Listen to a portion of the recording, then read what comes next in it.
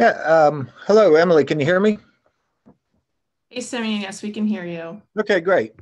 Uh, yes, uh, yes. My name is Simeon Hahn, and I uh, work for uh, NOAA, which is the National Oceanic and Atmospheric Administration. And I'd just like to uh, provide um, some brief help uh, help welcome welcome everybody and provide some brief brief background on the Urban Water Federal Partnership and this location. Um, so NOAA, um, as I mentioned, stands for the National Oceanic and Atmospheric Administration, but the products and services are not limited to the ocean and atmosphere, as, as the name may suggest. I, I, work in the National Ocean Service in the Office of Response and Restoration, and my boss's boss's boss is here to on the agenda today to speak. So uh, we're we're glad to have him. NOAA also includes other offices like the National Weather Service, the National Marine Fishery Service. Uh, many people know the Marine and Aviation Services for boaters and, and, and pilots. Uh, there's also the satellite and, and research offices. So, you know, we serve the whole country, uh, including interior and coastal cities.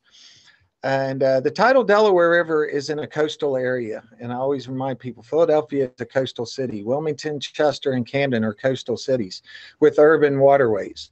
And why do I mention that? Um, in 2011, the EPA, under uh, then Administrator Lisa Jackson, who many of us know uh, from New Jersey, uh, DEP, uh, led an effort to help urban communities, particularly disadvantaged communities, uh, reconnect with and revitalize their, their waterways. So EPA partnered with several uh, federal agencies, including NOAA, um, in close coordination with the White House Domestic Policy Council to form this Urban Water Federal Partnership. Um, now, what's different about this one, and, and I think, was that it, it's linking water um, restoration efforts to other community priorities such as unemployment, business development, education, recreational, and social opportunities, um, including environmental justice. So I was involved with the Anacostia River in Washington, D.C. Um, before this urban water um, program took off. Um, and we had a group called the Anacostia Watershed Toxics Alliance. Again, a, a group working in partnership. Uh, but I think that experience working in Washington, also in the Elizabeth River, uh, the management from NOAA designated me as a point of contact for urban waters in the Anacostia location. And I was also on the national steering group when the Ur- Urban Waters Federal Partnership uh, efforts were kicking off. And in 2012, uh, NOAA, I worked with Michael Raines from the United States Forest Service to nominate the Delaware River into the second round of urban water federal locations. Um, there was also a proposal from the Brandywine River in Delaware, and I got to meet good friend and partner Bobby Britton as part of that. That that um, Brandywine River proposal uh, was endorsed by now President Biden. Um, but anyway, NOAA political leadership at that time uh, agreed for NOAA to be a co-lead agency for the Delaware River. Uh, it's a major port area. Uh, there's a lot of people and infrastructure vulnerable to climate change, and there's some really unique natural resources like the endangered Atlantic sturgeon and uh, migratory fish and freshwater tidal habitats. So um, we were excited to uh, bring this partnership or help bring this partnership forward. Um, since that time, the leadership at, at NOAA um, has changed, the political leadership especially, and it's been a, uh, kind of a challenge keeping that political leadership um, identified. Or, but you know, we've kept pushing through. But when we formed this, we um, first in the Urban Water Federal Partnership formed uh, some communities of practices, and this is the Brownfield Community Practice. Uh, informed, and I co-chair it with Frank McLaughlin from New Jersey DEP. Frank and New Jersey DEP are tremendous uh, leaders in, in our partnership and in environmental justice. We'll be hearing from them. Uh, the EPA has also been a tremendous federal partner in our Brownfield community of practice, uh, as well as other federal agencies, uh, including the DOI. But the, our community of practice is focused on cities. It's kind of place-based, Camden, Wilmington, Chester, Philadelphia. And um, we've taken a different view of brownfields uh, than the traditional one. You know, incorporating the urban water principles of looking at economics, resilience, social justice, environmental justice. Um, at our last in-person meeting in at, in the Delaware DNREC offices at the Delaware environmental offices, um, attendees specifically requested more information on environmental justice as well as housing and transportation programs. So um, we will also be focusing on some outreach and communication efforts, and I'm happy to have my daughter involved in some of those, and we'll, we'll be hearing from that. So there, there, there also may be a fourth seminar in this series covering some different topics. We really want to keep the uh, discussion uh, in, in, community outreach going. You know, we miss our intimate meetings. Um, we rotated around the cities, uh, the, the cities, and we'd have eight hour meetings, and they were really good. We'd see sites, but in this virtual world, we're able to expand to broader locations, and uh, you know, so there's pluses and minuses of each. Uh, but uh, we want to stay in contact, and we're doing that virtually. But look forward to meeting in per- person. Um, you know the in person the the collaboration across the cities from the agencies and such has been priceless you know the learning experiences and, and we'll hear about that throughout the time. I just wanted to end before i turn it over to uh, frank um, that this is kind of a, a renewed time uh, in my opinion for um, the urban water federal partnership. I mean we have a new ambassador and the partnership uh, for the Delaware uh, Estuary, um, providing that ambassador Emily, um, and she is fantastic. And uh, the partner Del- partnership for Delaware Estuary has a wide group, uh, so that's great. There's also some other efforts in the Delaware we're trying to merge with. You know, there's been a lot of efforts, uh, maybe in the headwater and the scenic river areas in the bay. And so we, we, there's a coalition now uh, for the Delaware. So you know we're we're we're bringing the urban focus in.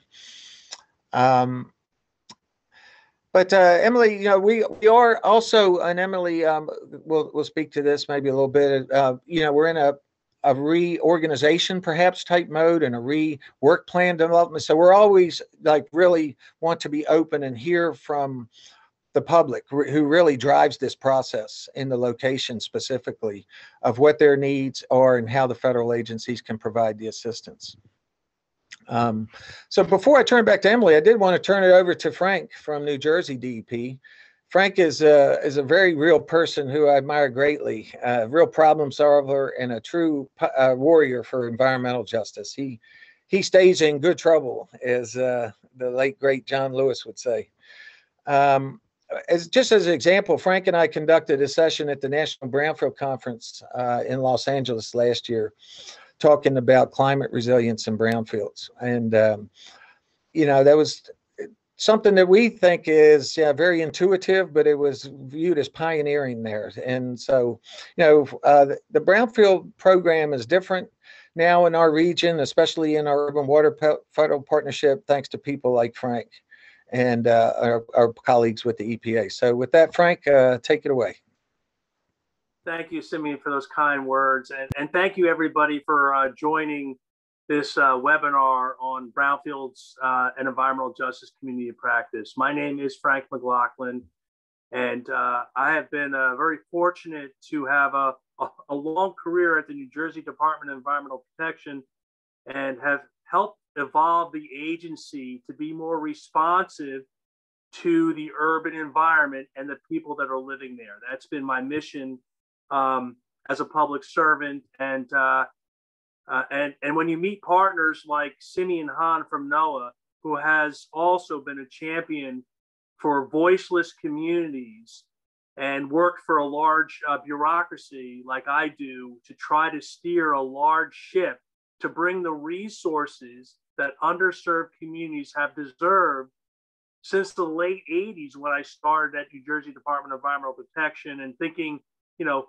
thinking of spring, the nice weather we've been having in the last week, and um, Earth Day coming up in in April. Uh, my my friends at the Environmental Protection Agency and uh, NJDP started Earth Day 1970, so we've been at it 51 years, and cities like Camden, parts of Philadelphia, certainly Chester and Wilmington too, like Camden, they have been underserved by our agencies, and uh, doing webinars like this and working with uh, great local and regional partners like the Partners for Delaware Estuary this is how we're going to change the paradigm bringing like minded people, traditional and non traditional partners together so many hands can make the work that, that these communities need and deserve. Uh, Brownfields has always been a great place to start a conversation locally because everybody can agree upon these blighted sites that are preventing these communities from becoming the communities they want to be. And specific in Camden, these blighted brownfield sites were an impediment just to get people to the beautiful Delaware River. And um, that's been a, a goal of mine. And uh, later you're going to hear from um, New Jersey DEP's Deputy Commissioner for Environmental Justice and Equity, and uh, Olivia Glenn. And not only is she a leader in this, she lived this growing up in Camden. So her personal story and now her leadership at DEP is um, really going to help us move the ball forward in these, again, these communities that have long deserved our attention and, um, and having broad partnerships not only bringing the environmental experts, but also the social, the economic, and the public health experts to, to, to this cause is really important. So I re- we really appreciate all of you joining this webinar and helping us row in the, the row in our beautiful Delaware River and our urban uh, tidal freshwater estuary that we have here so we can make it the place that we all dream upon dream about for everybody, not just um, the wealthier communities within our, within our uh, our basin, but also but all communities within our basin. So thank you so much for for coming today, and hopefully the next two and maybe three seminars. And I'm going to pass it over to Emily uh, Baumbach, but I wanted to mention one thing about Partnership for Delaware Estuary. Right, we we met them in Camden close to 10 years ago at the Harrison Avenue landfill, which is a story we'll talk about in one of these webinars. And they have now designed at another site, Phoenix Park, next to the Camden County Municipal Utility Authority, and in front of the third largest wastewater treatment plant in, in New Jersey, a living shoreline and building resiliency efforts. So, so we're, we got to combat not only yesterday's injustices, but our future injustices coming because it's the same communities with the environmental stressors that are going to be most challenged by climate change and sea level rise. And uh, working for the Partnership of Delaware Estuary, who have done everything from taking Camden residents out on boats and teaching them how to identify freshwater mussels to now building our resilient communities site by site in Camden. So I just wanted to thank Emily personally and PDE as well. Uh, so thank you, thank you, PD, thank you, Emily, and again, thank you, Simeon, for also bringing attention to the communities uh, that deserve agency attention.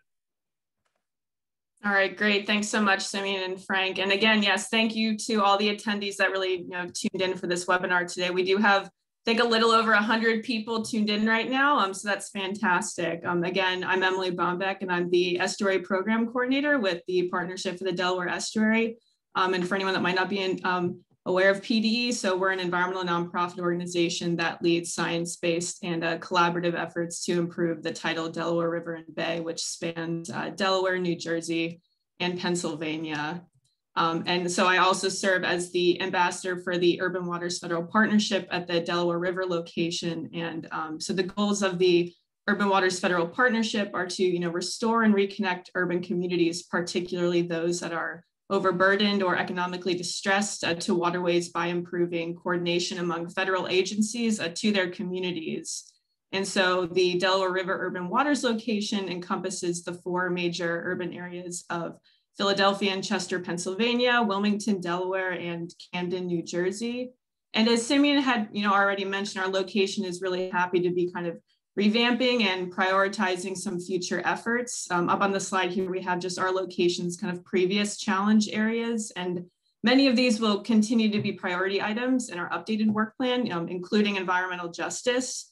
And our location um, is in the process of you know, updating a work plan and we really welcome feedback from all of you on our future priorities. So we're actually gonna go ahead and uh, link our online work plan kind of feedback form into the chat right now. Um, and we've been meeting with our you know, federal leads as well as our key partners that are involved in this partnership on a pretty regular basis just to keep you know, conversations going about you know, how this urban waters location can really add value to this watershed. Um, and we're looking forward to incorporating feedback from folks who live and work in these areas um, into this work plan. And again, environmental justice, it's a priority for this urban waters location and our core partners involved. And, you know, we're very excited to have a fantastic group of speakers this afternoon to really share their work and expertise on environmental justice to kick us off for this first webinar in this three-part series.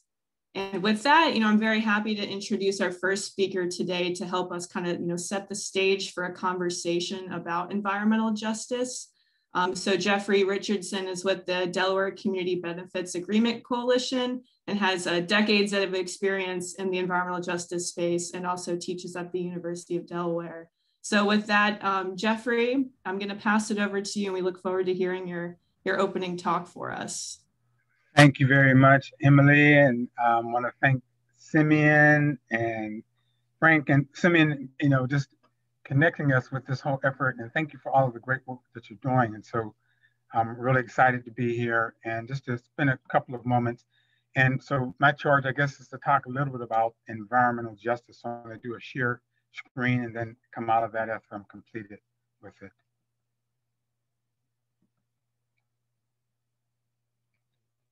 So again, my charge is to talk about environmental justice. And again, I'm thankful and we appreciate this opportunity. I'm speaking on behalf of the Delaware Community Benefits Agreement Coalition. And we want to thank again the Partnership for the Delaware Estuary and the Urban Water Federal Partnership and all of the parties involved. So what is environmental justice? I'll take a few moments to speak about this. And um, wanted to do is the first to lay out what environmental justice is, what environmental justice is. Let's see here.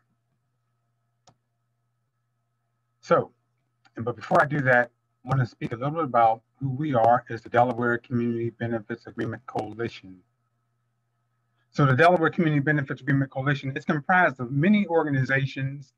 Um, it's a coalition, uh, groups that are community-based organizations, faith-based organizations, people from the business community, environmental groups, and others.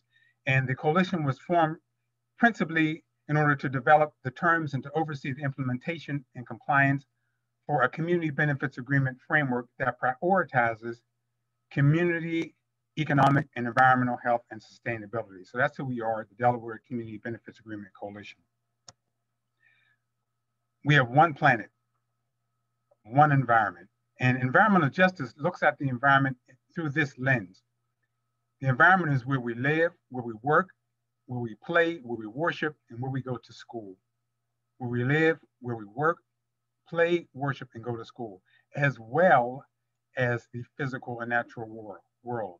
Um, typically, traditional environmentalism looks at the physical and natural world as the core and maybe doesn't talk about those other areas. So environmental justice takes this approach, a holistic approach of looking at where we live, work, play, worship, go to school, as well as the physical and natural world, because many of the communities, environmental justice communities, as has been spoken of in the introduction, people of color, low-income communities live in urban areas or in rural areas next to facilities that may not be considered, say, the mountains or the waters, but they are part of the environment. So what is environmental justice? A, a definition. so the fair treatment and meaningful involvement of all people, regardless of race, color, national origin, or income, with respect to the development, implementation, and enforcement of environmental laws, regulations, and policies. It's the fair treatment, and that means that no group of people, including racial, ethnic, or socioeconomic groups, should bear a disproportionate share of the negative environmental consequences resulting from industrial, municipal, commercial operations, or the execution of federal, state, local, and travel programs and policies. And this is key because in the history of this country and currently, the federal government itself has unfortunately been involved in perpetuating some of the challenges that we face. Some things have happened that have been good, but the government has also played a role in perpetuating these. So we want to get to address those issues as well. So simply put, environmental justice demands that everyone, not just the people who can vote with their feet and move away from threats or individuals who can afford lawyers or experts and lobbyists to fight on their behalf, but everyone is entitled to equal protection and equal enforcement of our environmental, health, housing, land use, transportation, energy, and civil rights laws and regulations. So a definition of environmental justice. So environmental justice is not just redistributing environmental harms. Environmental justice takes the approach that we want to actually abolish environmental harms. And, and for me, looking at this, we want to transition away from the current models. And there's a whole focus and movements working on something called a just transition. So we want to transition away from models and values that represent a near worship of economic growth and the free market over human life and the sustainability of life as an extension of a healed and cared for environment. So it requires a shift of values and possibly the way we structure our lives here and, and our economy. So we're talking about deep changes. Environmental justice is based upon the requirement that we speak for ourselves, that is, people of color, low income people, etc., people from communities that are most impacted by environmental hazards speak for themselves, that there won't be patronizing or paternalistic or racist practices where people think they can speak for. That should not happen. And that the people who are most impacted by environmental hazards must have power in shaping the solutions and dealing with the negotiations for change. So speaking for themselves and having power. Part of the discussion about environmental justice is related to the history of America. We look at the native population here, indigenous people, Native Americans whose land was taken from them. This is at the beginning. So we have a, cataclysmic kind of impact at the beginning of the start of this country where land was taken from indigenous people. And we can talk about environmental justice occurring at that moment where we did not address environmental justice, but we had environmental injustice, even at the beginning of the country. And we look at the history of African people, people of African descent in this country. A statement made by Beverly Wright, I think, captures this as she talks about the history of the country and slavery and environmental harm, environmental racism involved in that. She states that the disenfranchisement of an entire race of people was the law in the southern states, but it was practiced throughout the country and its forms included discrimination in housing, education, and public transportation, as well as the availability of recreational facilities and restaurant service. Environmental racism is merely one vestige of the overall pattern and practice of racism in the United States. So again, environmental racism is the is merely one vestige of the overall pattern and practice of racism in the United States. So a system that is racist produces racist outcomes in the practice of, and the application of its laws, policies, and procedures. So how does this play itself out? Um, if we look at racism and the environment and how that's connected to health, I'll just use two examples. I could talk about the Asian Pacific Islander community, the Spanish-speaking communities in this country, and others. But looking at the Native American population here, we had the government participating in genocidal practices against indigenous people, taking their land, extracting mineral wealth, right? So economics has always been a part of this and the environmental justice analysis.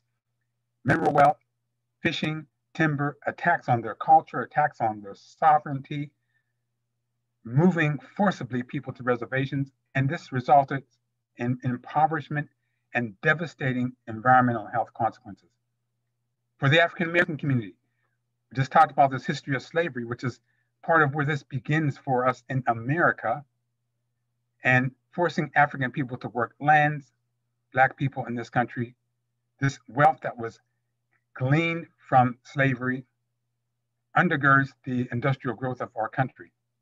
So discriminatory lending practices later on, like redlining specifically, spatial isolation, limited access to fresh food options, job discrimination, political disenfranchisement, and the disproportionate siting of polluting facilities in or near these communities. And it results again in devastating environmental and health consequences. And we can see now during this period of time dealing with COVID that these communities, black, brown communities, poor communities also have lack of access to healthcare, hospitals, etc. And this all results in this cumulative damage that we see exacerbated with this pandemic that we're experiencing now. I also want to just finish up a little bit talking about a whole history of the environmental justice movement. That's a whole nother presentation. But one point I want to pull out here is the first National People of Color Environmental Summit. People coming from various parts of the world, and they had another summit about 10 years later that brought even more people from around the world to develop what we now know as the environmental justice movement. And one of the results of that was the development of 17 principles of environmental justice, 17 principles of environmental justice. So you can look that up and really important to read. It gives you a sense of the values and focus. And I'll just read a couple. Environmental justice affirms the sacredness of Mother Earth, ecological unity and the interdependence of all species and the right to be free from ecological destruction. Environmental justice mandates the right to ethical, balanced, and responsible uses of land and renewable resources in the interest of a sustainable planet for humans and other living things.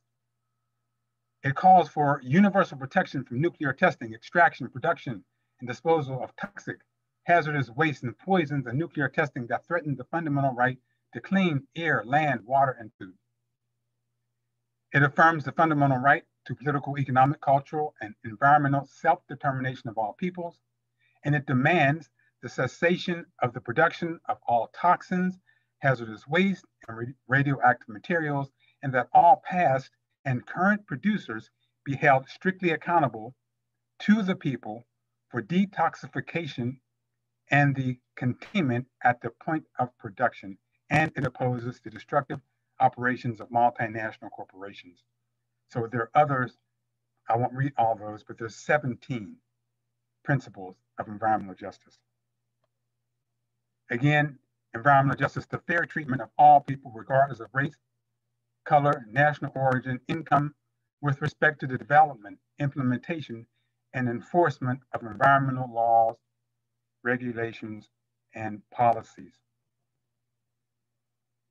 We have one planet, one world, one opportunity to do what is important for all of us as human beings to come together to protect the future of our planet and respect the humanity of all people. So, environmental justice. Thank you very much.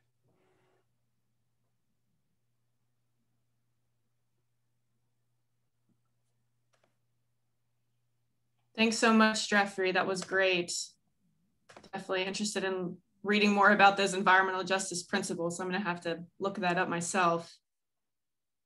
Go ahead and get the slide deck going again. All right, so moving into our next session to kind of kick us off um, for the federal perspectives on environmental justice, our next speaker is Scott Lundgren with, he's the director of NOAA's Office of Response and Restoration. Um, so take it away, Scott. We're happy to have you here. All right, and I'm happy to be here as well. Good afternoon, everyone, and thanks so much to the organizing group, Emily Baumbach, PDE, Simeon Hahn, Frank McLaughlin for arranging this great webinar series. And thank you as well to my fellow panelists and to all of you attending today for your interest and participation. Pleased to offer some remarks on environmental justice and support to underserved communities from my perspective as the director of the Office of Response and Restoration and as a NOAA senior executive. And I look forward to hearing the perspectives of my colleagues on this important topic. As the director of NOAA's Office of Response and Restoration, known as OR&R, I want to put my comment on environmental justice first in the context of my office's mission set and our actions, and then speak to the wider NOAA and administration's focus on equity. OR&R is a center of expertise within NOAA's National Ocean Service in preparing for, evaluating, and responding to threats to coastal environments, including from oil and chemical spills, hazardous waste ice releases, marine debris, and natural disasters. We work to fulfill our mission of protecting and restoring NOAA Trust resources by preparing the National Ocean Service and our partners for disasters, whether they're natural in origin or from human actions, providing scientific and technical support to prepare for and respond to oil and chemical spills, including chronic releases, assessing and restoring injured natural resources and lost public use from damage from such spills and waste sites, which often are chronic in nature and very much like a disaster. And then finally, marine debris, uh, investigating and preventing the harmful um, impacts of marine debris. And across this portfolio, we work with communities to address the critical local and regional coastal challenges. Speaking more to the natural resource injury and restoration part of the portfolio, NOAA serves as a steward or trustee for coastal and marine resources by protecting and restoring these resources. NOAA trust resources are plentiful, plentiful in the urban water federal partnership Delaware watershed location. It's a coastal area, it serves millions of people and has unique resources, including anadromous fish, freshwater tidal wetlands, sturgeon, and coastal areas are not strictly limited, as Simeon mentioned, to bays and oceans. They include many urban areas that we can better serve. We have staff across the OR&R programs around the country to help us better connect with our partners in the work that we do. In this region, Simeon is our local regional resource coordinator, an environmental scientist and trustee, working out of Philadelphia and covering the mid-Atlantic and select New York and New Jersey cases on the natural resource injury and restoration part of my office's portfolio. Through NOAA's engagement in the Urban, Urban Waters Federal Partnership, Simeon has promoted the design and implementation of urban living shoreline restoration projects. He's been recognized and has given remarks in an award ceremony for across the National Ocean Service, my parent office, for his important work in this region and in environmental justice.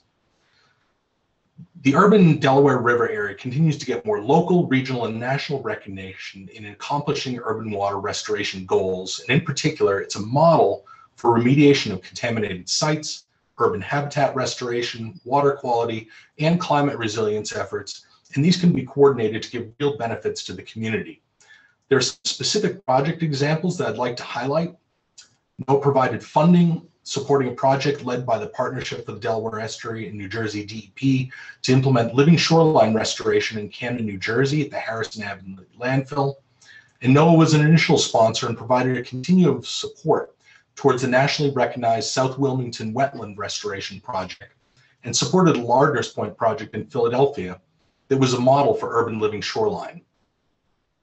In other partnership work, NOAA, through Simeon, co-chairs the Urban Waters Federal Partnership Brownfield Community of Practice, as you heard, with Frank from New Jersey DEP.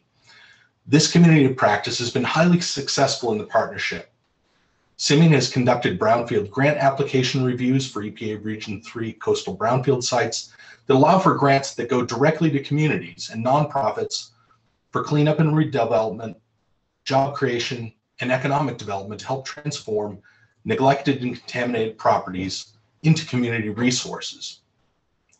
Simeon has also worked to connect several local urban water restoration projects, including partnering with the city of Wilmington, through support of an EPA Brownfield grant and as a partner with the Brandywine Shad 2020 through support of a National Fish and Wildlife grant to assist in their dam removal efforts on the Brandywine River in Wilmington and supporting the EJ community. More specifically related to our restoration of sites, over the years, NOAA has examples of supporting urban environmental restoration via natural resource damage assessment or NRDA settlements. Funds from the Presidente Rivera oil spill supported the aforementioned restoration of the Harrison Avenue landfill site in Camden, and funds from the Athos spill settlement supported the Lardner's Point project in Philadelphia. We'll continue to seek opportunities to coordinate NRDA restoration with the partnership focus area priorities. We're committed to prioritizing our work in impacted EJ communities by including the potential for injury to EJ communities as part of our site selection criteria. We're currently in the process of accepting two additional sites, Koppers in Newport, Delaware, Metro Container in Trainer, Pennsylvania, as cases for which to pursue settlements. We're also committed to engaging local communities in our efforts to prioritize restoration as close as possible to where the injury to natural resources occurred and to better understand community support for restoration options. We have one settlement out for public comment in the Metal Bank site in Philadelphia and another one forthcoming for the DuPont Hay Road site in Edgemoor, Delaware. I'll now shift from that restoration side to the marine debris program. This program is the federal government's lead for addressing marine debris and supports locally driven marine debris prevention, assessment, and removal projects that can benefit coastal habitat, waterways, and NOAA trust resources. It's no surprise that plastic pollution is one of the most abundant types of marine debris and often disproportionately affects low-income communities. Last year, the Marine Debris Program shared its strategic plan for the next five years and its commitment to diversity, inclusion, and equity. The program committed to engaging a more diverse community by including new voices in the formation of its products and through several actions such as funding in underserved and underrepresented communities, increasing collection of marine debris monitoring data in areas that have not been previously recorded, and translating more materials into non-English languages. We support communities across the US by funding projects through competitive grants, and we're working better to better understand who past projects have benefited and how we can better serve minority, underrepresented communities, and communities that are overburdened with marine debris moving forward. We're also working to expand the types of organizations that compete for funding by broadcasting these opportunities more broadly and providing new tools and resources to support new applicants. We incorporate issues of equity and diversity in our decision making, and the program has examples around the US of funded grant projects working with tribes, territories, and underserved communities. In, in the Mid-Atlantic, an example is a multi-year project in Masonville Cove, an underserved, highly urbanized restoration site in Baltimore, Maryland on the Patapsco River. Litter and debris are a huge problem in this area, affecting not only water quality, but also the quality of life in surrounding neighborhoods.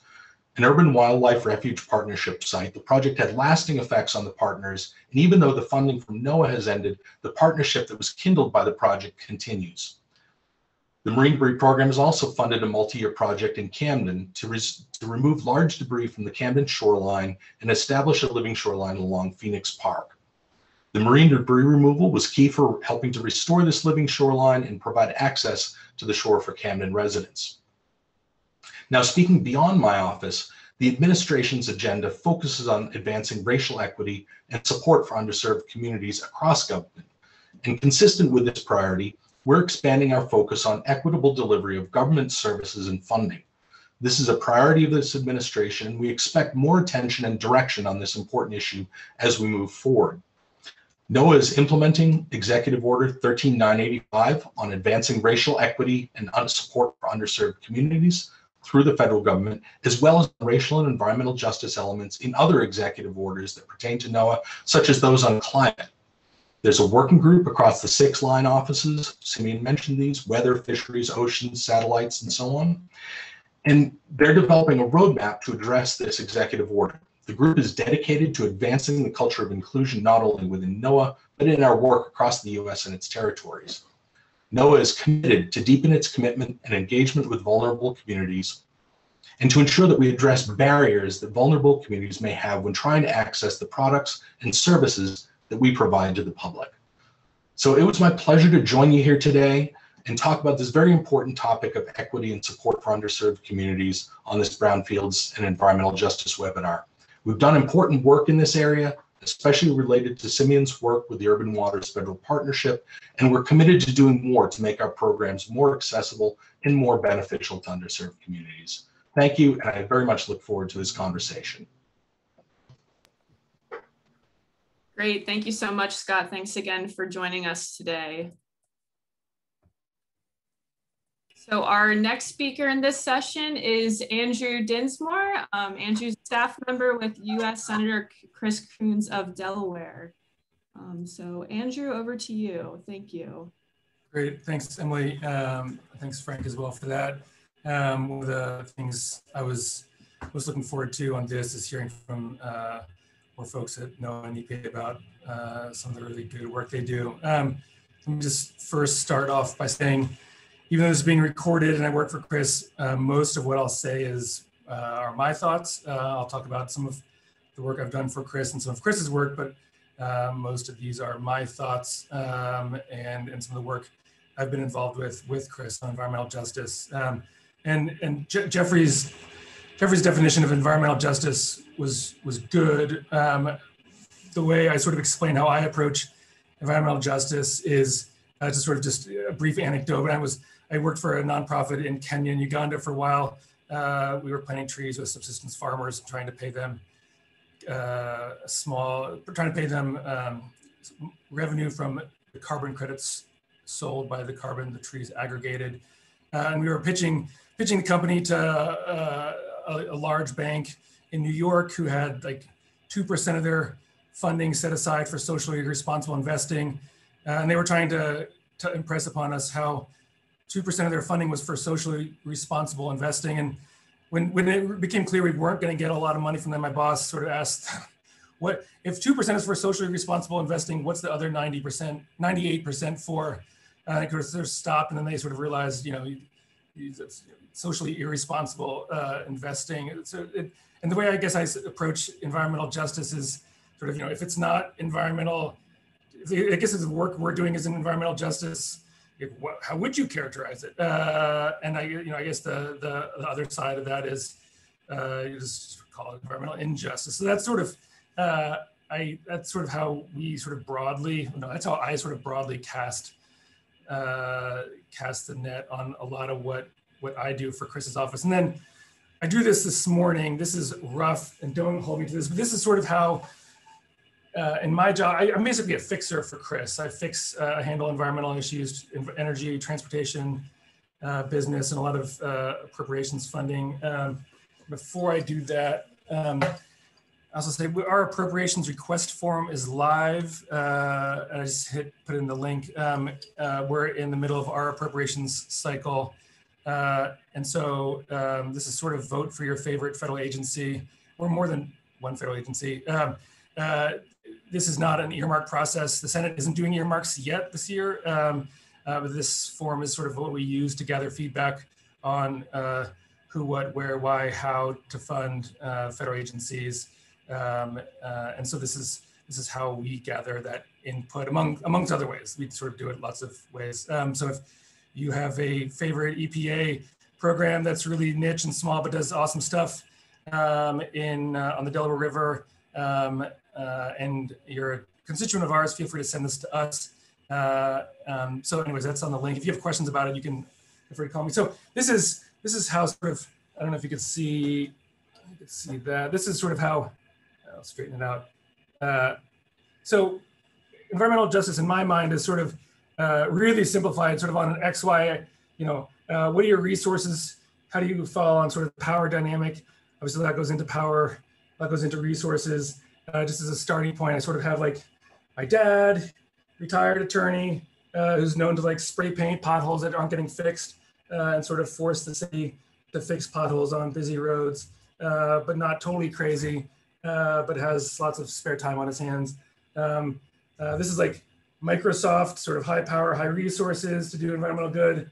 And then like sort of off here is like Chief Coker or like Lorraine Fleming, for some of you who know them. Like, uh, and I guess the way we approach some of our work is uh, trying to get environmental justice. We sort of run into people all over the place, but there's sort of a lot of people, sort of, there's like a strong little cluster like right there. Uh, of people who don't think they have a lot of power, but we think they have a lot more power than they do. And so trying to get, uh, trying to either fund programs or sort of individually improve uh, their capacity, uh, their knowledge of how systems work, and sort of share uh, some of the some of the things we've learned and that we can do along the way. There's a lot I don't know, I, um, uh, but we're one of the things I've realized 10 years in is uh, asking questions and sort of sharing uh, sort of forwarding on an email? That's a really good question, but no one at the state or federal agencies listened to it yet, or they don't even know that they could ask it. Is sort of say, well, look, if you don't want to, you know, I'm more than glad to ask this question for you, but you should be comfortable asking. Um, is sort of uh, increasing people's comfortable comfortability with it um, and saying, uh, look, you've been focusing on EPA funding programs. To learn about water quality, but have you ever asked USGS what they're doing on the Delaware River? No. Okay. Well, uh, here's uh, you know here's a link, and here's the person that is sort of the point person on that that's tracking it. So um, uh, that's that's one of the ways we sort of view our mission is to sort of get people sort of increase their capacity, increase their comfort level with uh, understanding of how much power and ability they actually have, but also part of, I guess, it'd be sort of ignorant of me not to recognize that, um, you know, I think we, we, we especially have been uh, not as conscientious about uh, some issues in some communities as we should have. And so being more diligent uh, in both a focus on it, uh, but listening to listening to people when they point out uh, most of the really good ideas we've ever had have been brought to us by people who say, this program doesn't do this, but it does X, Y, and Z. Here's a slate of programs that have been funded for the past five years. We can't get funded because we're in the wrong zip code, and here's where it says that in, you know, whatever language it is. Uh, and um, and sort of taking ideas like that or questions like that and sort of going down the rabbit hole on them. And I think the first time I ever met Simeon was uh, I'd heard about Simeon for a few years, uh, and uh, people kept talking about uh, the South Wilmington Wetland Project. Uh, and one of the things, you know, we, we, see a lot of sort of bill ideas and a lot of pieces of legislation that come by us.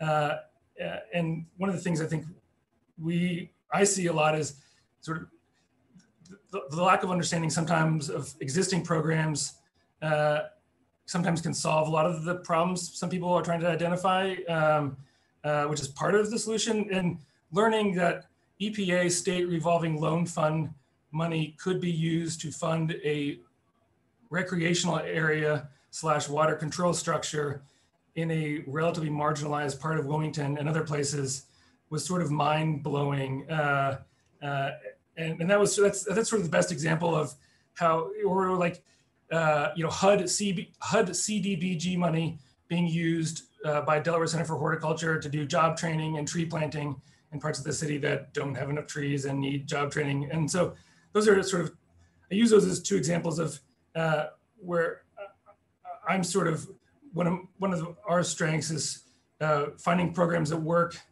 in addition to sort of new programs or new ideas, finding programs that work uh, and in sort of increasing X. Uh, you know, if CDBG is good and helps uh, DCH fund programs uh, um, and help green parts of the Wilmington, uh, you know, making sure CDBG doesn't get eliminated.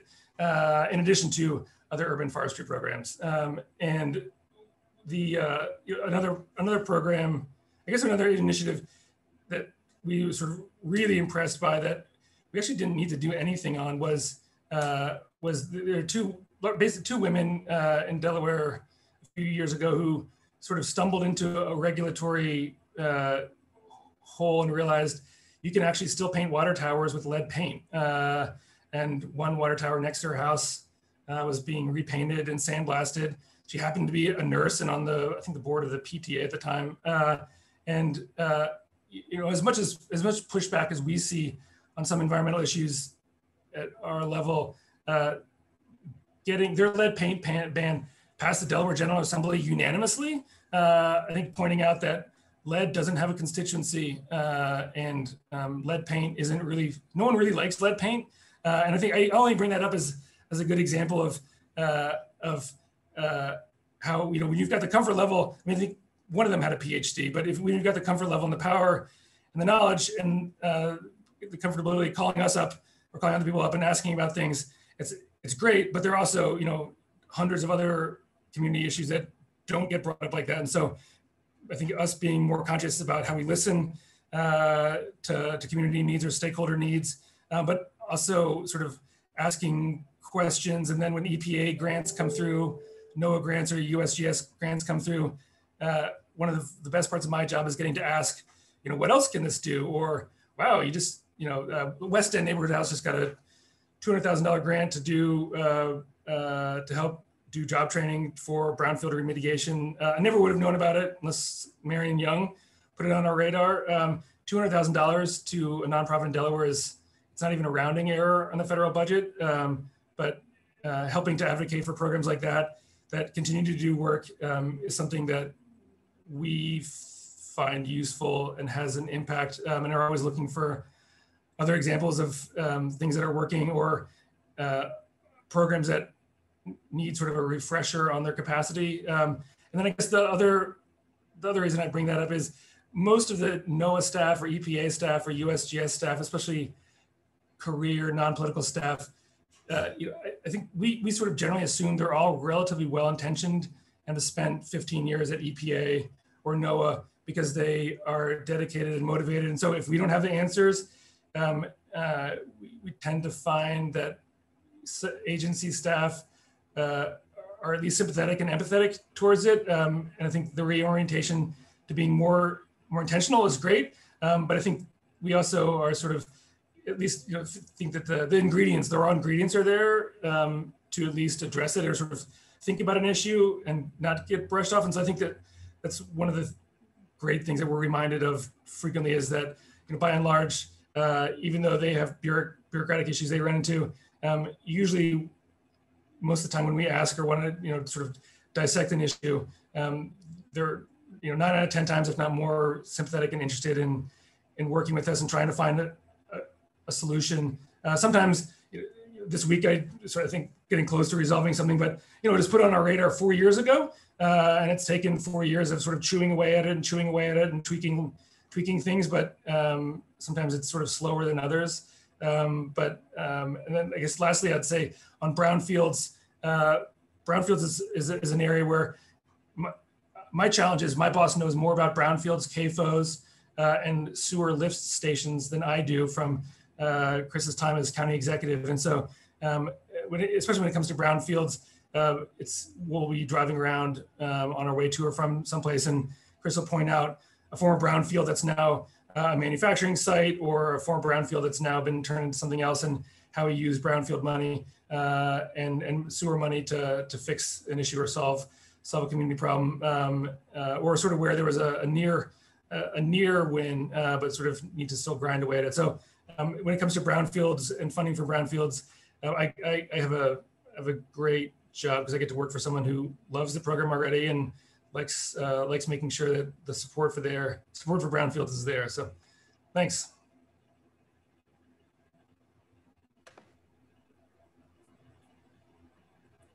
Great. Thank you so much, Andrew. Thanks again for joining us.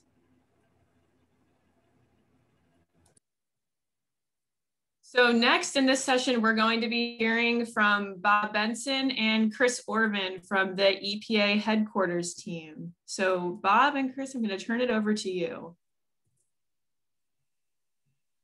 Thanks, Emily.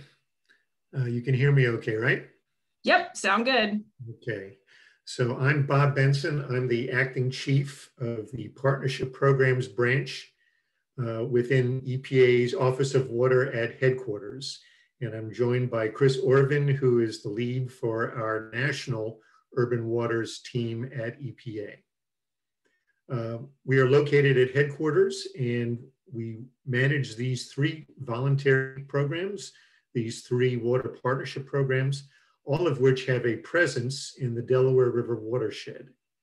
Um, and I, I, give a tip of the hat and a bow to our friends at NOAA we work very closely with them with our Trash Free Waters program and their marine litter program, uh, very much uh, um, cognizant of the environmental justice issues of trash in water.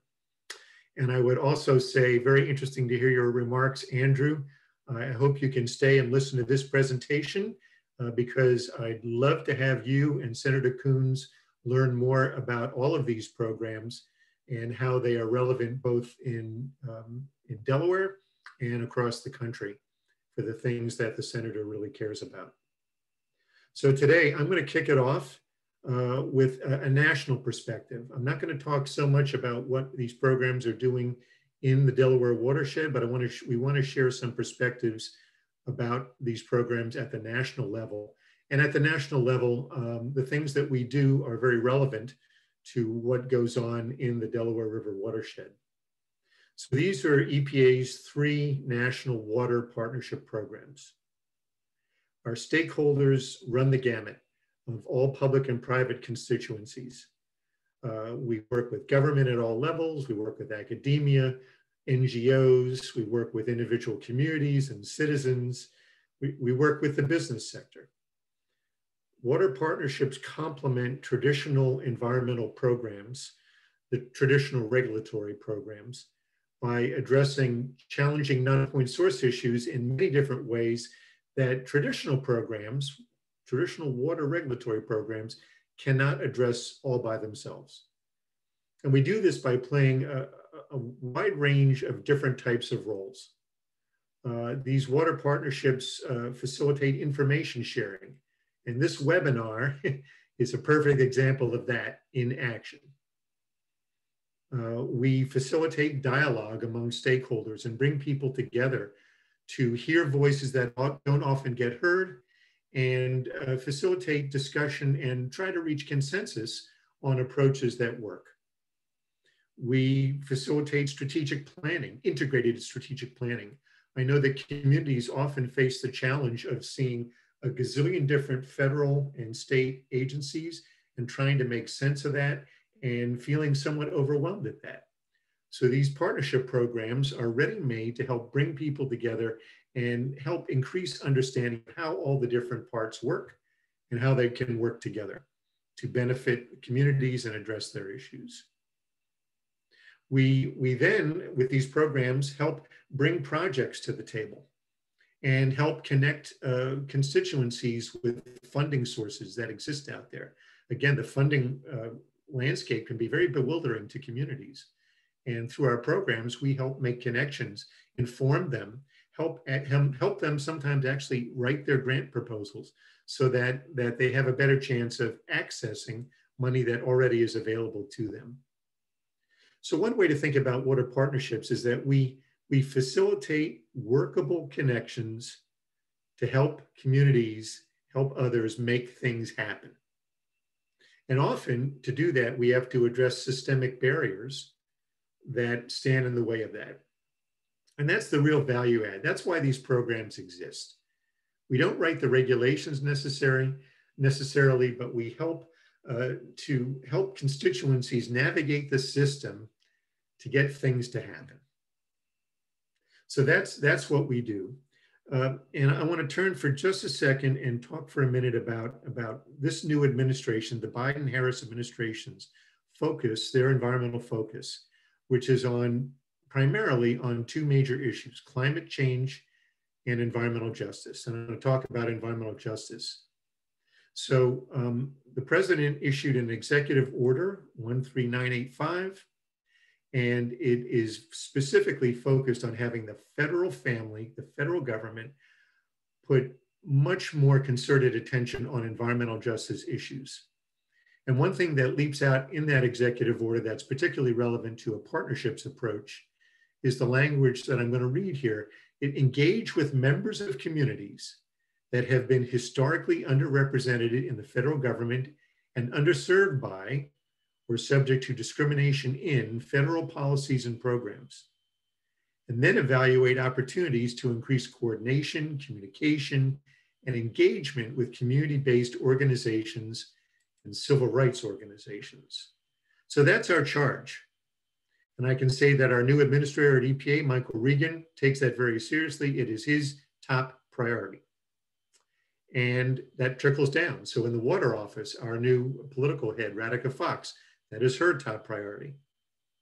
So EPA is charged with assessing how our programs interact with communities in ways that we might be addressing environmental justice well or not so well, and to plan to figure out how we address where we fall short, and then to figure out how do we implement projects and programs and get investment to happen to address environmental justice opportunities. So our NEP and our, our National Estuary Program and our Trash Free Waters Program are addressing EJ issues, but I think today, Chris and I are gonna focus on how the Urban Waters Program is doing that. Emily read the mission for Urban Waters, and I wanna just repeat it because it's relevant here. Urban Waters is designed to help urban and metropolitan areas, particularly those that are underserved or economically distressed, connect with their waterways, and work to improve them by putting communities first. So we have 20 locations around the country that Chris is going to talk about. But I think Urban Waters also does a lot of things that help many communities all around the nation, not just the 20 that are uh, official Urban Waters communities. So for this new administration focus on EJ, Urban Waters, we feel, can be a cross-federal model, a model for how to effectively assess disproportionate and inequitable impacts in communities, to develop innovative strategies to address those impacts, and to facilitate the implementation and replication of those approaches all across the country. And remember, it's not just doling out money. It's helping the communities themselves figure out how to access these funds and how to um, allocate them for projects that will have the biggest bang for the buck. So with that, I'm going to turn it over to Chris to tell you about our Urban Waters agenda this year. And if we could have the next slide, please. Well, thanks, Bob. Um, and I, I, I, will go through this uh, uh, fairly quickly. Um, as Bob mentioned, I'm Chris Orvin. I'm the team lead for the EPA headquarters urban waters team. Um, so just to, uh, to quickly review here uh, some of the background on the Urban Waters Federal Partnership and EPA's role in that. And, and then at the end, I will touch on kind of the nexus with environmental justice uh, I just want to make sure everybody kind of has the background before we dive into uh, a little bit more of the focus on the topic of this webinar, which is on environmental justice. So as Bob and, and um, others have mentioned, uh, we're, we are working in 20 watershed uh, locations across the country. Uh, really, this is a place-based voluntary program working to uh, connect communities to their water resources, build water equity, um, we have a number of, of, tools that help us do that, including the Urban Waters Learning Network, which I'll talk about in just a few moments. Um, and then some you know, information and, and funding uh, resources that we can help uh, connect communities to, uh, to support those, those needs and those priorities. And you'll see the, the logos there of the other federal agencies that are engaged in the Urban Waters Federal Partnership. Uh, next slide, please. So just to give everybody a bit of a national context, uh, there are 20 uh, locations all across the country. Uh, you'll see them here on the map. We were very excited to add our 20th location just last fall uh, in uh, the Rio Reimagined project in uh, Phoenix, uh, Arizona. so just a reminder that you're part of a larger national network and, and national program. next slide, please. So the federal partnership really is kind of the, the core of the, the program. Uh, as Simeon kind of mentioned in the beginning, the, the idea was to get the other, to get federal agencies working closer together and coordinating their resources uh, and decision making uh, in a more coordinated fashion in particular locations across the country. Uh, first as a pilot, and now we've kind of expanded uh, to, uh, to up to 15 different agencies now. It was smaller in the beginning and 28 national uh, nonprofit organizations, non-governmental organizations, uh, working exactly to advance this mission of um, working with uh, under-resourced communities to help uh, both connect them better to their, their water resources um, and improve those water re resources. So at the heart of the mission really is both the environmental aspect of it and the social and community aspect of it um, that those two things can kind of create a, a virtuous cycle, if you will, of uh, uh, water improvement, restoration improvement, uh, and then community engagement, which leads to more uh, restoration, uh, et cetera. So uh, next slide. The Urban Waters Learning Network is one of the ways that we do that. As, as Bob mentioned, a lot of what we help facilitate is communication exchange, building capacity, sharing resources, and the Urban Waters Learning Network is a great resource that we are uh, happy uh, to support. Uh, it's a collaboration between EPA, River Network, and Groundwork USA. Uh, we have over 580 members now that are that are on that that resource. A lot of it is about communications, networking, training, uh, helping uh, locations share you know best best practices and, and stories and success stories uh, to, to build the capacity, not just of the 20 locations where we work, but communities all across the country um, that may have uh, been involved with urban waters in a, a slightly more tangential um, uh, aspect in the past, but we want to keep them as part of this larger uh, national effort. Uh, next slide, please. So the National Fish and Wildlife Foundation's uh, five-star and urban waters restoration grants, these are uh, grants that the uh, National Fish and Wildlife Foundation manages, uh, NFWF, uh, we call them. And we've been very happy over the last couple of years to provide some funding support from EPA, USDA Forest Service also contributes, and the Department of Interior's Fish and Wildlife Service contribute to this uh, really innovative uh, uh, leveraging resource, um, which is able to combine federal funding and private funding. You know, for example, Southern Company, FedEx, BNSF Railway have been able to contribute in the past to develop these small but I think impactful uh, community-based uh, restoration projects. Um, every project has that combination, as I was talking about at the beginning, of some kind of restoration component and some sort of community engagement or education component. Um, and so we've been uh, very happy to, to be able to support these projects. They're fairly small, uh, but I think they are high, high impact and a good value uh, for us. So many of you may have, may have heard of this, uh, this opportunity, but I thought I would just mention it. Uh, next slide, please. So really, this is kind of the meat of the discussion here today for, from, I think, our perspective on EPA Urban Waters uh, and kind of how we we see our, our ability to kind of advance these issues on environmental justice.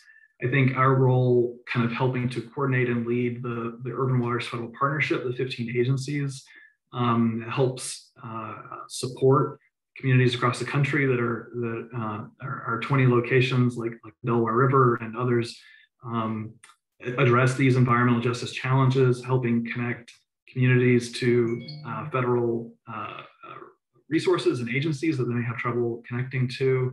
Uh, and that includes funding uh, for folks that are on the ground, uh, folks like Emily, uh, our ambassadors, who are, are working really in a critical coordinating role um, on the ground to develop work plans, bring the partners to, to a big table, and figure out how to leverage our resources to get a lot of really good work accomplished that will help address some of these environmental justice challenges.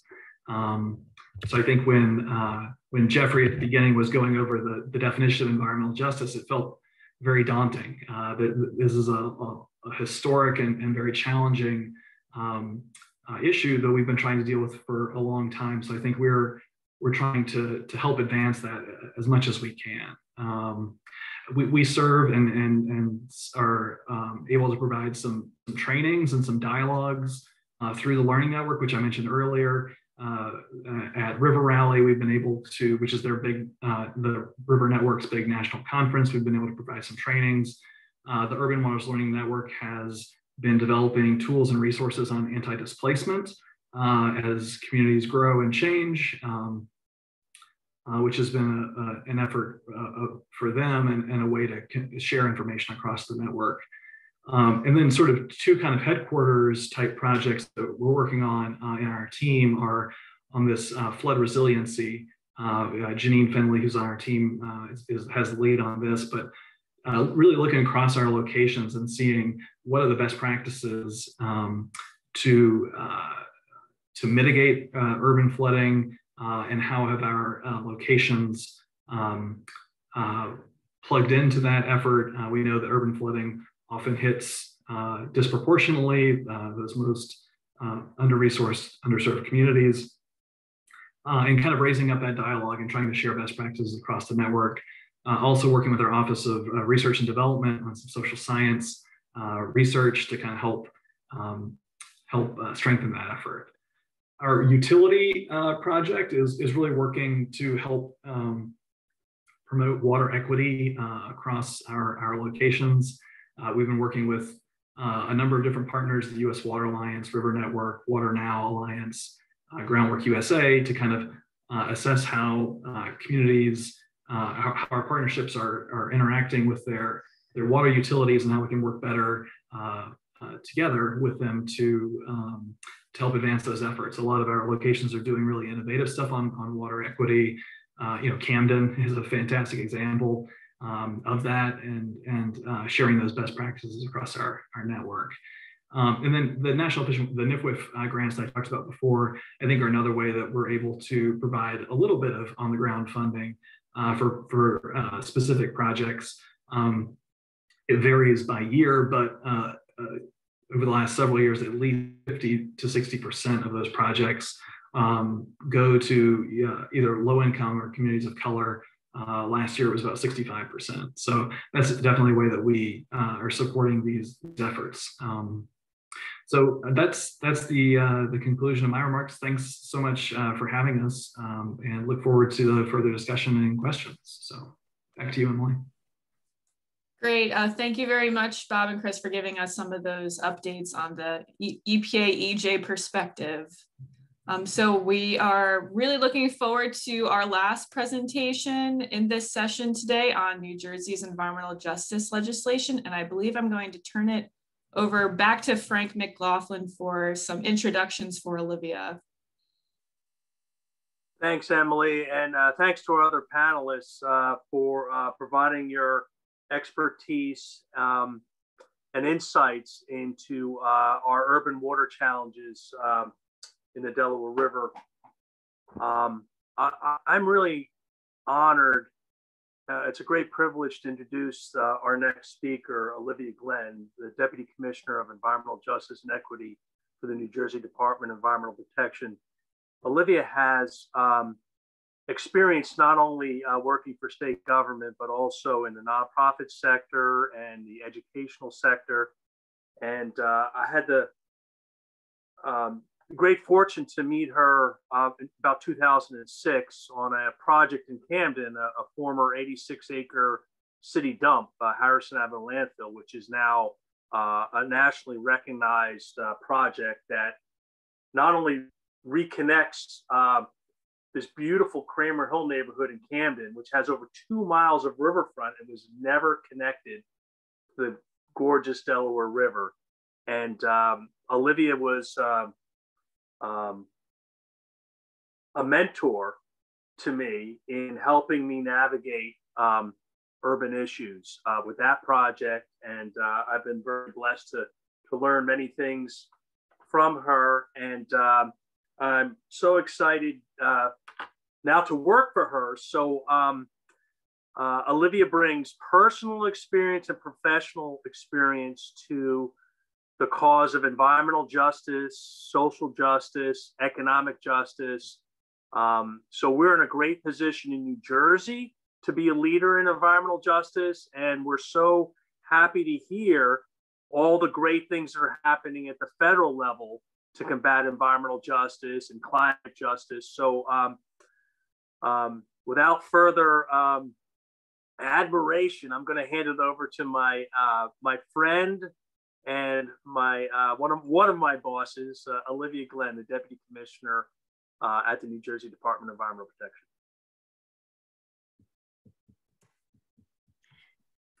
Frank, I thank you so much for that beautiful and heartfelt introduction. Um, it has truly been an honor and pleasure for me uh, to work with you over the course of all of these years. And I'm uh, delighted to have the opportunity today uh, to share in some of the work, the great work that we continue to do together, and the best is yet to come. So thank you so much. Thank you.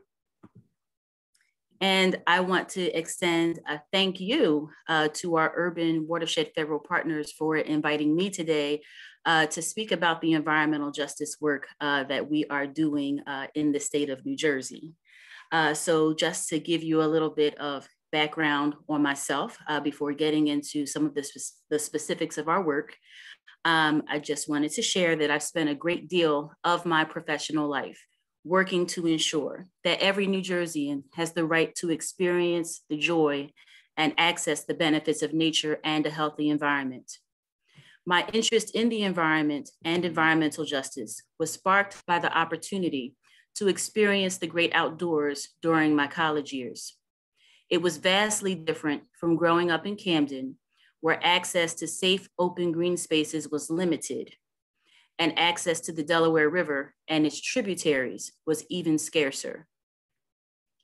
The dichotomy between where I grew up and where I went to college in Hanover, New Hampshire couldn't be starker.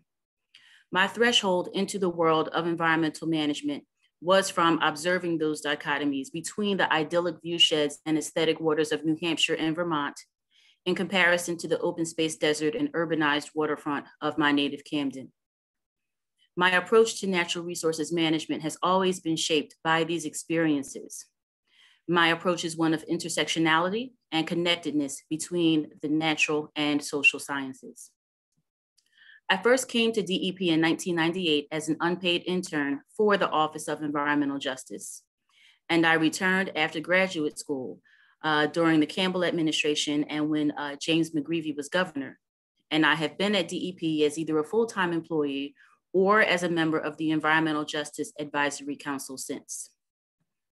I returned to lead the DEP's Division of Parks and Forestry in 2008, a job which I loved deeply facilitating access for all New Jerseyans to our 450,000 acres of parks, forests, historic sites, recreation areas, and marinas. But the urgency of what we must accomplish in this time through environmental justice and equity resonated for me as the highest imperative, so I stepped into the new role that I have now.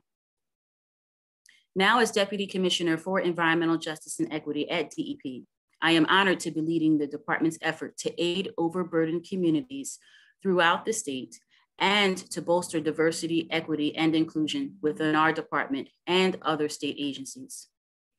And to be clear, for me, environmental justice isn't simply eliminating or mitigating environmental and public health stressors. It is also improving and providing access to environmental and public health benefits, such as providing underserved communities like Camden, Philadelphia, Chester, and Wilmington, access to clean waterways. So since the civil rights movement of the 1960s, grassroots communities nationwide have documented disproportionate environmental burdens endured by poor communities and communities of color. They have also asserted their desire to receive equal protection under the law when it comes to their environment. These disparities were not only raised in urban centers, but also in rural communities. And New Jersey is no exception. From our industrialized urban centers to rural migrant farming communities, these concerns are all throughout the Garden State. For decades, nationwide, stories from communities and academic research institutions have documented these disparities. Specifically, these communities and their studies have shown a disproportionate quantity of minority and poor communities host potentially toxic facilities, such as landfills, incinerators, and wastewater treatment facilities. And it's not just disproportionate exposure. It is also not balanced with the level of consumption by these impacted communities. A 2019 study published in the Proceedings of the National Academy of Sciences found a racial gap between who causes air pollution and who breathes it. Specifically, that study found that African Americans and Hispanics experience 56% and 63% respectively more air pollution than they produce through consumption. This is in comparison to whites who experience 17% less air pollution than they produce through consumption. These disparities are not limited to air quality and facility siting. These disparities are also present in water, water infrastructure, flooding, and reflected in land use and planning policies. And I would be remiss not to note, as we already heard from other speakers, the nexus between environmental justice and climate change. Data over decades has made clear that poor communities and communities of color will be more negatively impacted by climate change through impacts like flooding and sea level rise.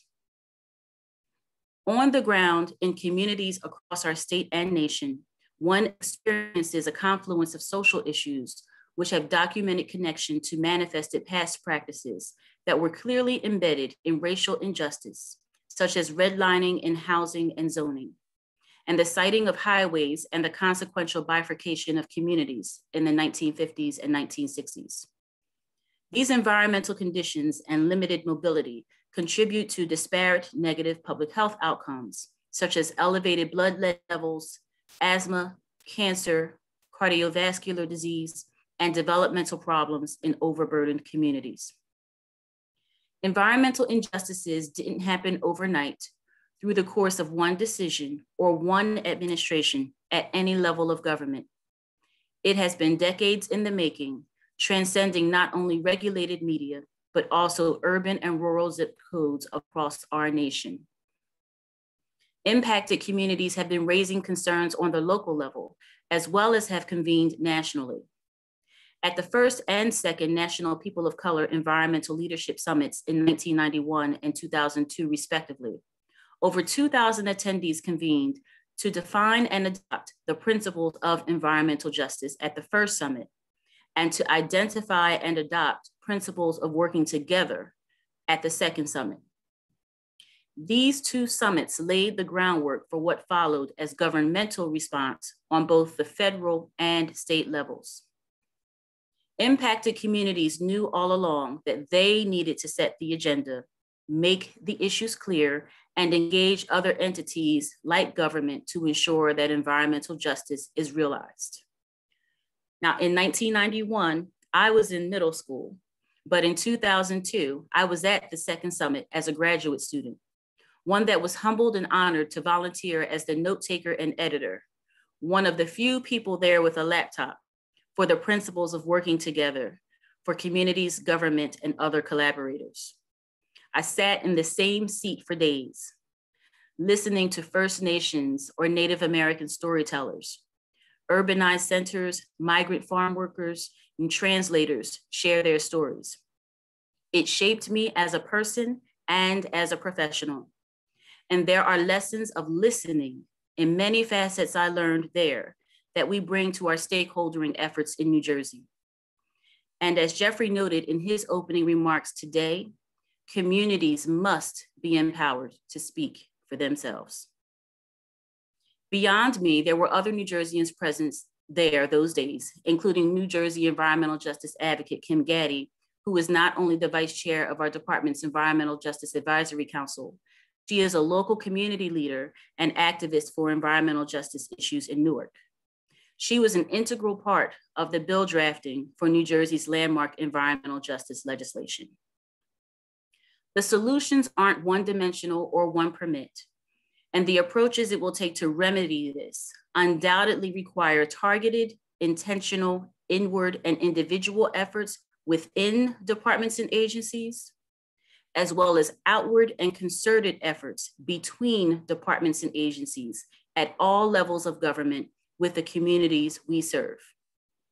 They will take coordinated efforts of government at all levels to reduce stressors and increase benefits in impacted communities. Like the federal government, New Jersey and other states have taken steps over the decades outside of legislation. In New Jersey, we launched our governmental EJ efforts back in 1998 with an environmental equity task force. And subsequently, in 2004, Governor Murphy issued our state's first environmental justice executive order. Governor Corzine later did the same. And under the Chris Christie administration, Commissioner Martin established an environmental justice administrative order. Governor Murphy, in his first 100 days in office, passed an environmental justice executive order, whose implications I will discuss in a little bit. While these efforts have been admirable, no environmental justice community in the nation had statewide legislation that could preclude, mitigate, or remedy some of these environmental justice challenges. But in September 2020, New Jersey reshaped the course of history for the better. New Jersey became the first and only state in the nation to take a critical first step via legislation to advance environmental justice. The law is the nation's strongest measure to protect overburdened communities from pollutants. So the environmental justice law specifically within it asserts that the legislature believes that all New Jersey residents have a right to live, work, and recreate in a clean and healthy environment.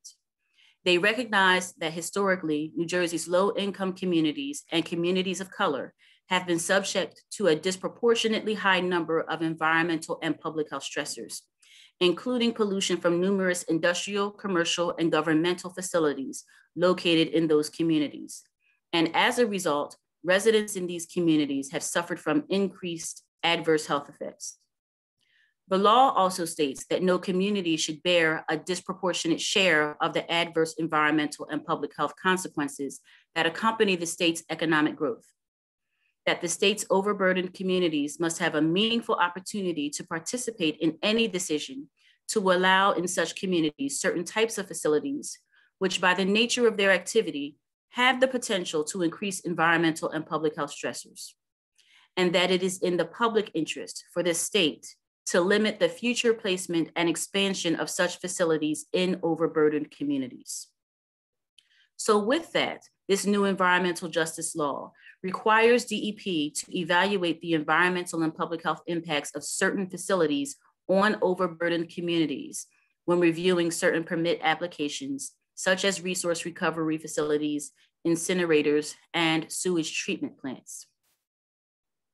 This law goes into effect immediately upon the adoption of rules and regulations. And at that time, the department shall not consider complete for review any application for a permit for a new facility or for the expansion of an existing facility or any application for the renewal of an existing facility's major source permit if that facility is located or proposed to be located in whole or in part in an overburdened community unless that permit applicant first prepares an environmental justice impact statement that assesses the potential environmental and public health stressors associated with that facility's application. And it also considers the stressors that are already borne by that community as a result of conditions in that community. And this must be provided 60 days prior to a public hearing. Then the applicant must organize and conduct, conduct a public hearing in the overburdened community. At that public hearing, the permit applicant shall provide clear and full information about the proposed new or expanded facility or existing major source as applicable and the potential stressors associated with that facility. After that hearing, DEP shall consider the testimony presented and any written comments received and evaluate the issuance of or conditions to the permit as necessary in order to avoid or reduce the adverse stressors on the community. For a new facility, the department may deny a permit if it is determined to cause or contribute to adverse cumulative environmental or public health stressors in the overburdened community that are higher than those borne by other communities. So in a nutshell, that in itself is the substance of the environmental justice law. Right now, we are engaged in the rulemaking process. And within this rulemaking process, it isn't simply about the rule itself, but the process by which we will draft it. And as such, since October, we've been hosting topical meetings on our rulemaking, ranging from geographic points of comparison to permit and facility definitions. You can access recordings of these past meetings, as well as PowerPoint presentations on our Office of Environmental Justice website at nj.gov slash DEP slash EJ. In addition to the environmental justice law, Governor Murphy also uh, issued Executive Order 23 to advance environmental justice in New Jersey. And as a part of that Executive Order 23, the governor directed DEP to develop a guidance document and that guidance document is entitled Furthering the Promise Advancing Environmental Justice Across State Government. The guidance document was directed within the executive order, and that was for us to give all departments and agencies, boards, councils, authorities, and commissions directions into how they can incorporate environmental justice into their decision making. Following publication of the final guidance, all executive branch departments and agencies shall consider the issue of environmental justice and make evaluations and assessments in accordance with that guidance. Now that we have a guidance document, we have also formed an interagency council where all of the executive branch convenes to take a multidimensional approach to some of our state's greatest environmental challenges. And as I stated earlier, furthering environmental justice will require targeted, intentional, inward and individual efforts within departments and agencies, as well as those outward and concerted efforts between departments and agencies at all levels of government with the communities we serve. And taking that inward look, as well as coordinating that outward coordination across the whole of government, is the intent of the executive order. We also know that the environmental justice law is not encompass is not all encompassing as it only addresses certain types of permit issues. But we know that with the executive order, we can take a much more holistic approach to, address, to addressing a myriad of environmental justice concerns. So with that, I want to stop and just give recognition uh, to uh, yesterday. I was able to tune in to the National Environmental Justice Advisory Council meeting. And Administrator Regan gave great remarks, indicating strong, clear resonance between environmental justice, climate change, and the whole of government approach, including listening, coordinating, and engaging with communities. So we here in New Jersey see this as our shared charge, and we look forward to continuing to work with the members of the Urban Waters Federal Partnership and all of the members of the Biden Harris administration. So thank you again for the opportunity to speak with you today.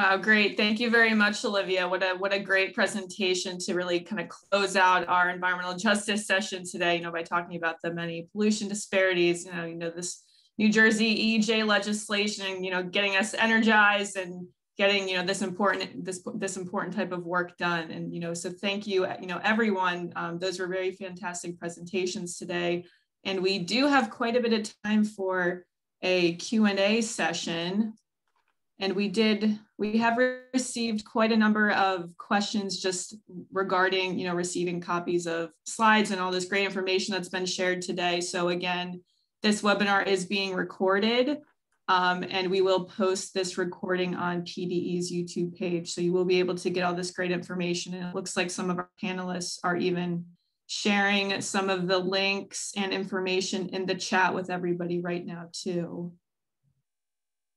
So moving into our Q&A session and um, panelists, if you wanna you know, join us again, feel free to turn your, turn your cameras and mics back on.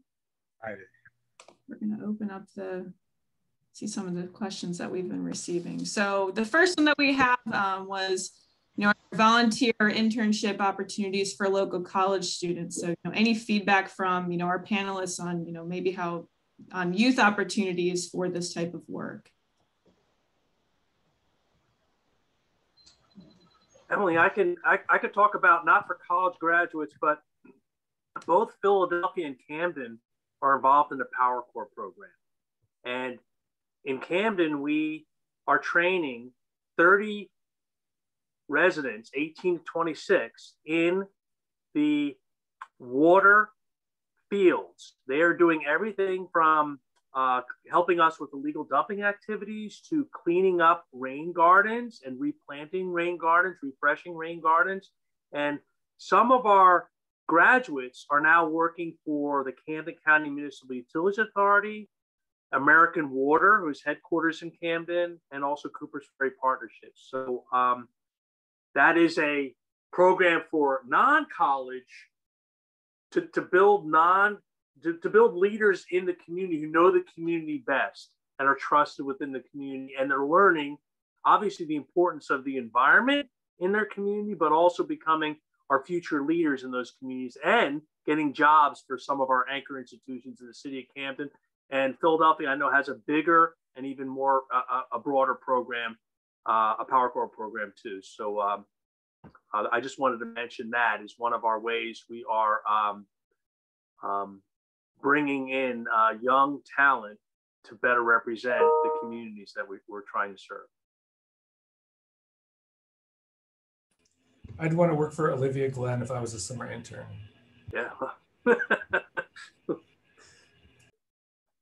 Thank yeah. you so much. So I can um, also just share um, that the New Jersey State Park Service does a lot of hiring of summer seasonals. We are hire we hire like between 700 and 900 seasonals each year uh, to work in our state parks, forests, and historic sites. Um, so if you give me a few moments, I will find the precise URL and I will drop it into the chat. Uh, but we are actively doing that hiring right now. Um, the other opportunity that we have within our department is that we do have a watershed ambassadors program and uh, we can we can provide some specifics on that as well. So I'll put those two things in the chat. Fantastic. Emily, this is Simeon too. I, I, I would say that NOAA has various um, internship uh, programs, fellowships of different levels. So, um, you know, they, they come up in at different times. Uh, but if if there's any specific uh, internship, you know, someone might be interest, interested in an internship with NOAA, for example, you know, please uh, let's talk about it. We don't have internships as a community organization. I mean, I work at the university from that perspective. There are internships to work with groups, and we've done this um, learning process where at the university, students have worked with community groups um, on their issues. And so there are opportunities there. And I work with a group that does training of organizers. So that might be another opportunity to connect with um, opportunities to work in issues related to environmental justice, et cetera, at the community level. this is Scott. I just want to add to what, what Simeon mentioned. I put over in the chat a couple of the student opportunity links related to, to NOAA. One covers all of the different programs we have. Um, another one gets more specific to some of the educational partnerships we have with minority serving institutions as well and certainly encourage exploration of those um, and connection to, to Simeon if there are ones that relate more specifically to some of the worlds of work that we have within the Office of Response and Restoration. Fundamentally agree with the point as we look at diversity and inclusion within the agency, as well as our provision of equity and our delivery of services, it's really important to, to look like the country that, that we are um, and both fronts to be able to best best serve the communities that we serve. So anyway, some links that, that may be useful for you. Again, focusing on, on the broader NOAA portfolio. And there are a lot of programs in addition to the ones that I talked about before that really are out there doing great things in the environment, in our stewardship mission and so on. Thanks.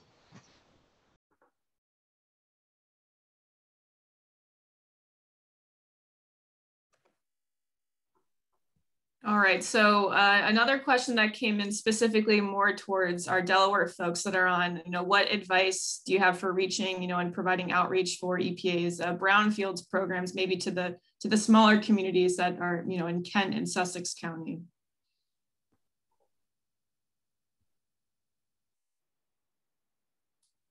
Uh, I guess I I don't know enough about the, the questions trying to learn to answer. And are they wondering how to get brownfield money for a project or? Um, yeah, I could maybe answer that um, with my experience in New Jersey DEP. We have a very close working relationship with EPA Region 2 and EPA Region 3. Uh, I've worked in the Brownfields program prior to my role in the Community Collaborative Initiative. And uh, EPA's monies, grant monies, for environmental assessments of brownfields and environmental cleanups of brownfields, and they also have a loan program, have been instrumental in getting our sites um, understood from an environmental liability standpoint and also uh, for cleanup monies. And um, just one site in Camden, the Harrison Avenue landfill site, had received $1.6 million in grants from EPA over many years, including a $200,000 brownfield assessment grant, which helped us and the Salvation Army under, and the community understand the environmental challenges at the site so we could move forward with additional gathering of resources and have a directed, focused approach. So um, Region 3 is a is terrific. Brownfields program is terrific. So is Regions 2. And uh, if, if, if any brownfields folks or EPA folks are not on the call, I would be happy to take um, an, an, email or questions to help a community get work with EPA to get a to get a brownfield assessment grant or cleanup grant or whatever the community needs. Yeah, Frank, I was going to uh, echo something similar. Um, you know, EPA brownfield contacts are very heavily involved in our urban water federal partnership. So, yeah, we can. That's part of the role of the partnership is to, um, you know, identify the agency contacts, put persons in, in touch. But uh, we can definitely help make that connection to the Region Three folks, and they, they've been great uh, for our urban water federal partnership.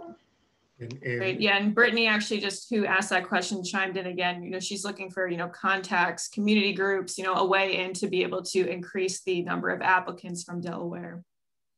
So Christina Gaffney, and I, you know, I can provide her email address. It leads the, the, the Brownfields and Land Revitalization Program at EPA Region 3.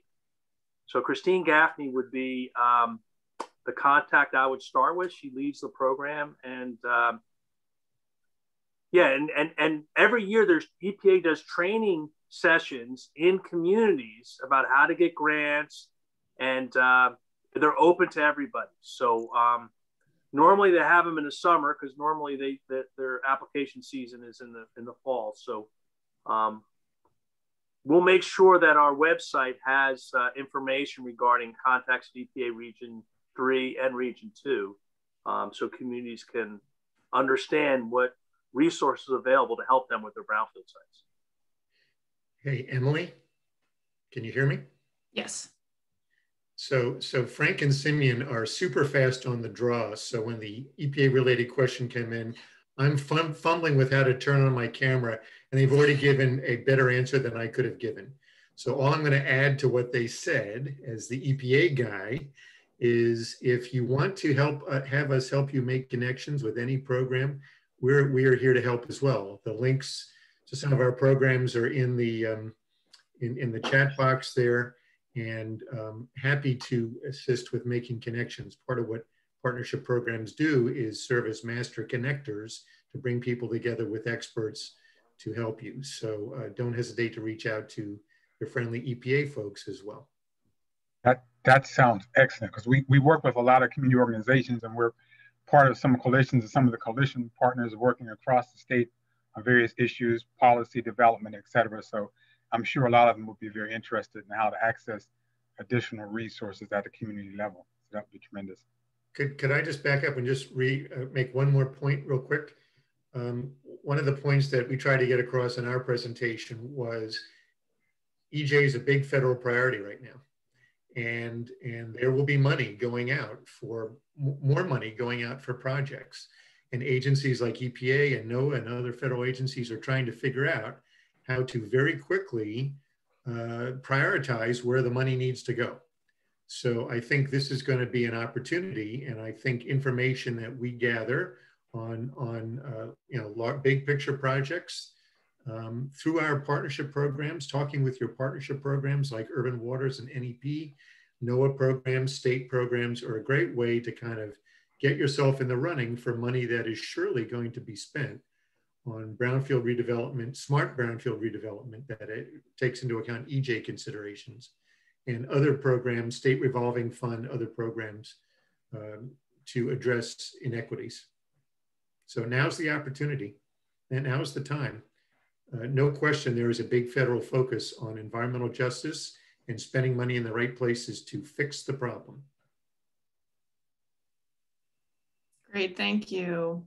Um, another question that came in, an interesting one, you know, how do you change the attitudes um, from some people of um, in communities that do not think twice about throwing their trash on the ground? You know, I've been in Trenton and I've seen individuals throw trash on the ground right next to the trash can. How do you change that type of culture? Well, I would I would say you have to connect children teachers, parents, residents to the environment. Uh, we've been very intentional in Camden through we have a we have a we have a tree planting program. We have a we started the Camden Smart Initiative in 2011, which which is a nationally recognized community-based green infrastructure success. We have the Camden Collaborative Initiative that we started in 2013. By the way, EPA was uh, uh, one of our great partners in the Camden Collaborative Initiative, and, and they continue to be so. Um, but we feel at New Jersey DEP, you have to embed yourself in these communities. And we talked about regulatory frameworks, but we also have to work in a partnership framework, as our friends in the Urban Water, Waters Federal Partnership at EPA and this webinar is about. We have to, agencies have to engage in these communities in all ways, not just as a regulator, but as a partner. And in Camden, we've gone to schools. In Camden, we have brought children out onto the water, the Delaware River, who never even knew the beautiful river was just a few blocks away from their home. So we have to be better leaders in connecting people to the environment.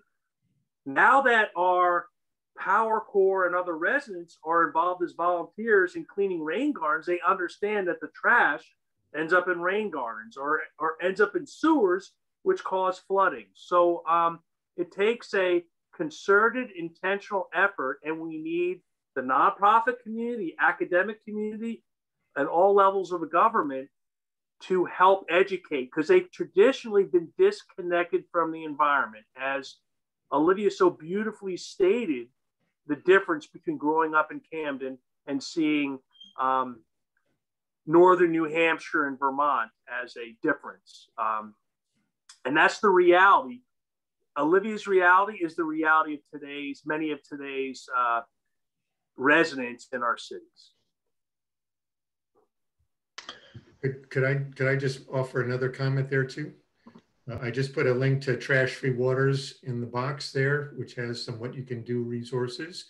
But in our working on this issue and working with our friends in NOAA and at the state level on this issue, you have to kind of, we, we consider trash as a, a really quintessential environmental justice issue. So many inequities in terms of the impacts of trash in water affecting the, the health of citizens. Uh, it's related to trash and it's low hanging fruit in terms of fixing them. But to the question, what we've what we found is that you have to kind of hit people where where you live if Bob Benson from EPA goes out and says, hey, please don't put your trash on the ground, put it in a trash can, that's not going to resonate them. So part of the trick is to figure out working with communities, figure out what messages are going to resonate from their perspective. Is it appealing to the family? Is it appealing to religion? Is it appealing to other things that local communities? And it always with EJ comes back to you've got to listen to what people say, listen very carefully, and react to that have it be a bottom up thing as opposed to government saying, hey, be smart and do it this way. Hey, Emily, this is Simeon. Just to add something to that uh, as well. I really learned um, in Los Angeles at the National Brownfields uh, Conference, listening to the Los Angeles thing, really hit it home. Like, um, and and was mentioned here today, empowerment is is so important. So, um, I think it was mentioned like a trail was built or different things were built. If it was built by local community people, there's ownership, there's empowerment, they protect it more versus some company coming in from out of state and constructing it and and and leaving. And then as a scientist, uh, as a more a natural scientist, I'm really starting to appreciate these connections. Um, so I think and we and I mentioned we have a, a, um, a webinar maybe coming on housing. I think housing is an important component of that. You know, home ownership. Uh, nobody literal really rarely litters in front of a house that they own. You know, as an example, they, again, that's more empowerment and and ownership. So there there are connections outside of the environmental world. You know, economic environmental and, and environmental justice stuff you know things like community cleanups are very important. Um, you know, sometimes the the federal government may, not look at those type of things as fund worthy because they're going to have to do it multiple times. Is is their mind? You know, they're looking really to change the the system rather than clean up the event. But you know, they're I think as neighborhoods get and areas get cleaned up, you know, uh, and beautified, if that's the right word, people, you know, there'll be just different attitudes about. Uh, you, you know contributing uh, you know so if you can change it from a negative to a positive that, that that's a big thing I, would agree i think that um in my own life growing up my mother was heavily involved in the communities uh, community action networks um, had Saturday cleanups. I live in, in Pittsburgh, PA, a black community called Homewood Brushton, and she did that for years. They had um, Operation Better Block. It was actually an organization in the community, uh, long-term, long-standing organization um, where Saturday cleanups, they had food, people will come out. this is right in the heart of, the community, black community, no, no question, in the city. So we did these and so that makes a difference because you have multiple generations understand this is important. And wherever I've done, I used to be, I worked in community organizing for a number of years, as well as being a labor organizer as well. So we've always found that when there's always someone in every community, no matter how challenged that community is, that cares about the community. At least I found that every community I've been in, in any city I've worked in. And so connecting with the people who are respected, who are known, who are the people that say, Miss Jones, well, you need to talk to Miss Jones about that. You know, there's people like that in every community. And that person knows the networks, whether it's the church or other civic organizations, and they can be the one to talk to people. And yes, even some of the people on the corners doing stuff that's not cool, even some of them might say, that's Miss Jones. Or so there's ways to pull people in to get things like that to happen. I think that's really from the ground up and connecting, working with people where they are, and then kind of building out I just wanted to add one thing to what everyone else said, which I agree with everything that's been said before me. Um, but I just also want to add a dimension um, of illegal dumping that happens in many of our urban communities. Um, and one of the underlying issues with illegal dumping is that when people illegally dump, there isn't always the follow up with compliance and enforcement. And so I think, you know, we talked about a lot of things here that are carrot, and I like carrots, um, but just to add another dimension to this um, with the stick, to just have some, uh, you know, greater coordination um, between people who do and entities, companies who do that illegal dumping in uh, urbanized communities. But I will also note, if you look in some of our state forests, you'll see that dumping happening there as well. So I don't want it to be painted that this is just like a lens of something that happens in urban places because it's not. just more concentrated people there. Um, but just wanted to add that uh, compliance and enforcement and illegal dumping piece to the conversation as well, not just individuals. And the people in the community want that as well, because I've been in communities, people, they keep dumping stuff down there. I mean, so people in the community would, would support that, or at least that core group that can be the, the uh, basis for taking action. So can't agree with that more.